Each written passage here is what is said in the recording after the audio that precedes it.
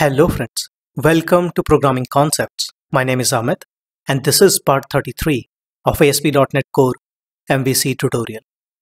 In this video, we will talk about what are tag helpers in .NET Core MVC. This is continuation to part 32, passing anonymous object from controller to view. So please watch it before proceeding to this one. I shared the link in the description. So what are tag helpers? So tag helpers enable server-side code to participate in creating and rendering HTML elements in Razor file. So what does that mean? Enable server-side code, rendering HTML, Razor files, etc. Let's understand that. First, let's get back to Visual Studio.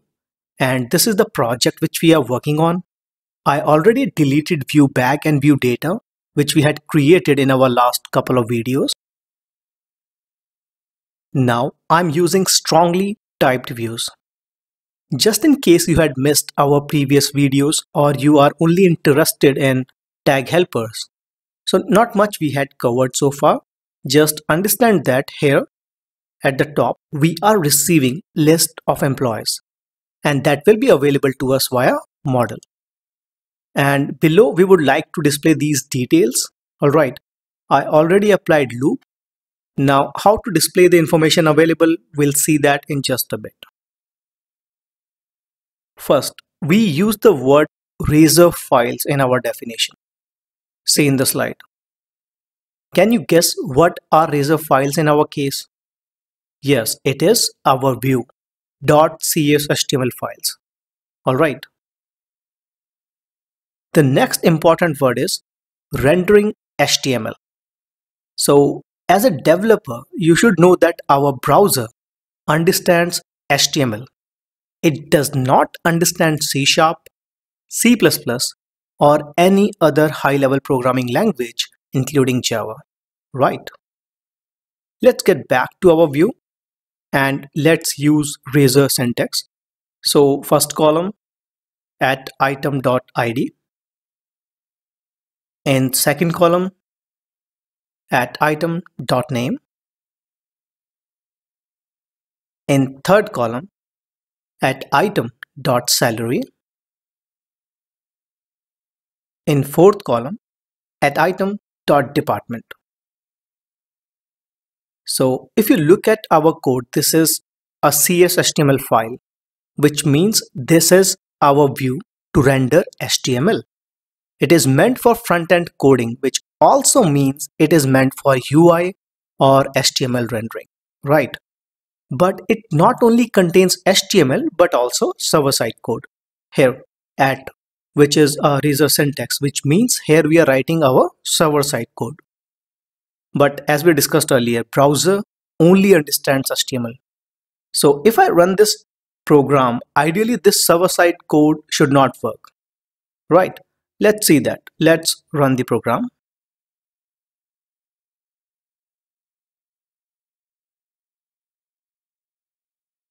Oops, working without any issue.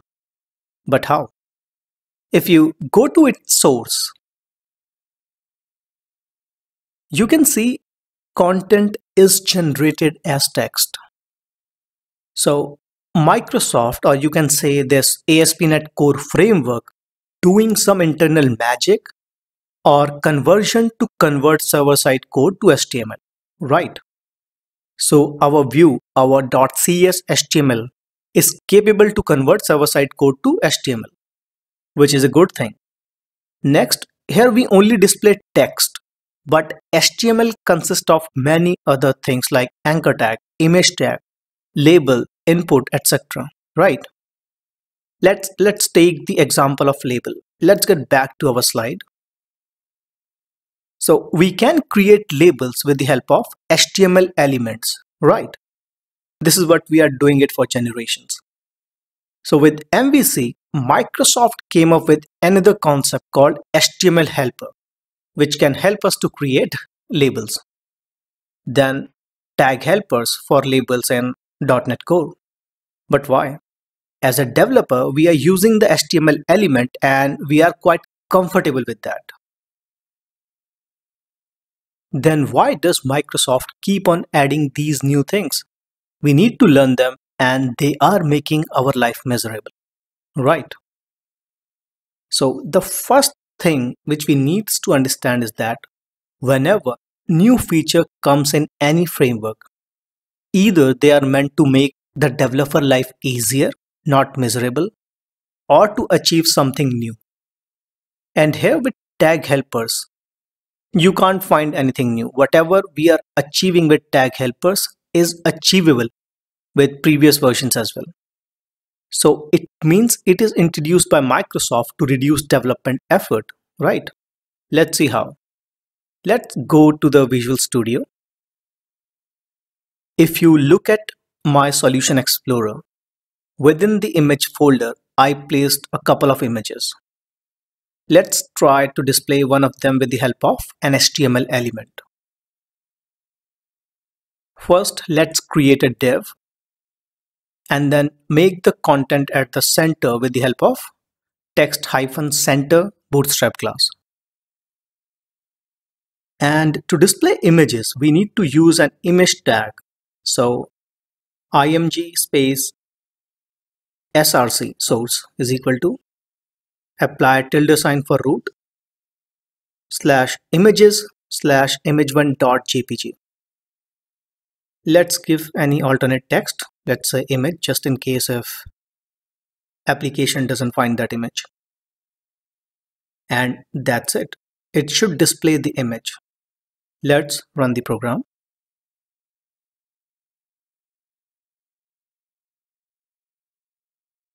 see image is displaying as expected next let's say we need to change this image so let's go to the image location and change the view to the extra large icon. Let's rename these images. Change image 1 to image 3 and image 2 to image 1. Simple. So in the live project, we can change images, right? Now, let's try to refresh the page, refresh the browser. Oops, still the same image. Refresh the page again. No change. So let's do the hard refresh by pressing Ctrl plus F5. Now it's changed. So what happened here? To improve performance, browser cached the images, which is a good thing. But on the similar line, we also wanted to provide the latest images to our end user right? So historically, the solution for this is after an image was edited, the name had to be changed and each reference to the image in the web app needed to be updated. And this is very labor intensive. It's also error prone. For example, there might be 10 references to this image and you deleted the image one and upload a new file with the name say image2 and you missed one reference. It is a problem right? So later on a solution came uh, we will not change the name but update the file version. So this looks slightly easier. Let's try to achieve this let's say in our server code we manage to identify file is modified right we write some logics where we identify that file is modified. So I'm not writing complete code here. Just assume the request came and we identify the file is modified and we created its new file version, right? So let's let's say random. Let's the object name be random with small r is equal to new random. Then let's create a view bag and let's say image version is equal to random dot next. So within server side code, we identify file is modified and we manually created its file version. Let's use this image version in view. So just append the question mark and let's say version is equal to at viewbag dot image version. And let's run the program now.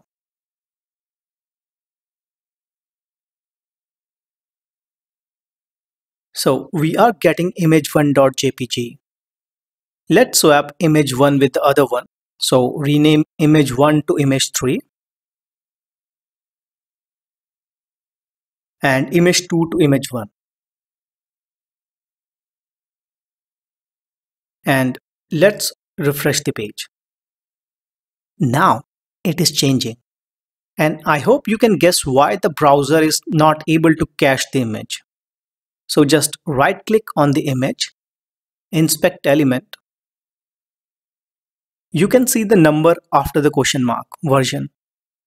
Alright, so let's again refresh the page and the version number is changed. I haven't implemented the actual code to get you know the actual e tag the concept is called the http e tag I discussed a bit of caching an e-tag in part 9 of this video series. If you want, you can watch that video. I will share the link in the description. So here just a small demonstration, you know, how we can specify the file version so that a browser knows, okay, this is a new file and I need to request to server every time. So to reduce this effort, Microsoft decided to create tag helpers to efficiently merge client-side code.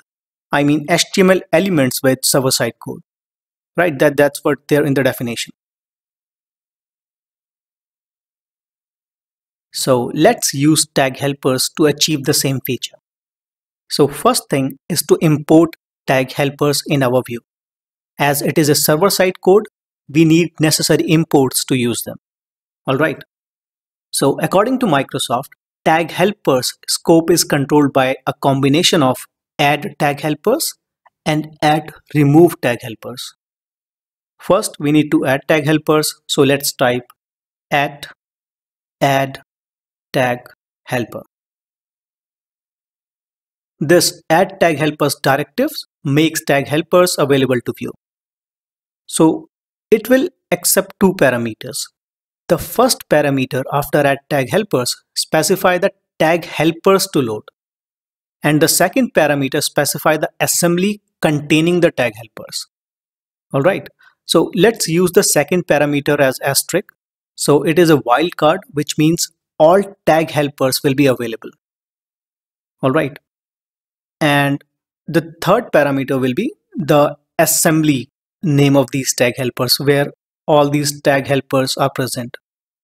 So all these tag helpers are present under Microsoft dot ASP.NET Core dot MVC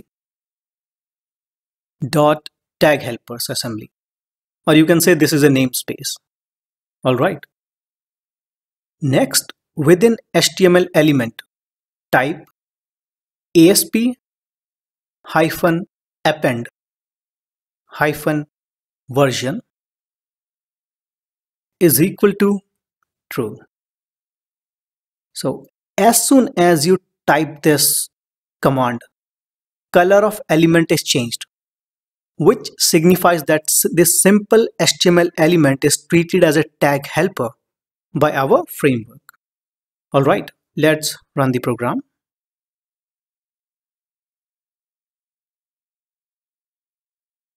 Let's change the image at the backend. Change image 1 to image 2 and image 3 to image 1. Let's refresh the page and you can see the correct image is displayed. Let's just inspect element and you can see it automatically added version number for our image. See how simple it is with the help of image tag helpers.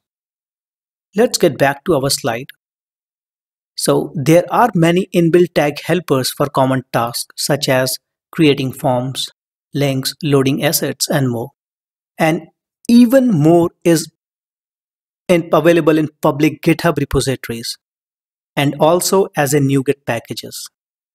Apart from that, you can create your own custom filters. So we will cover them as we progress through this tutorial. But there are still many questions that might comes to your mind. So what is the scope of tag helpers? What if we don't want to use wildcard? What if we don't want to use tag helpers in a specific view? So why tag helpers if we already have HTML helpers, etc. We'll cover them in our upcoming videos of this playlist. So alright then, that's it in this video. If you have any queries related to the content of this video, do ask me in comments. Till then, thanks for watching.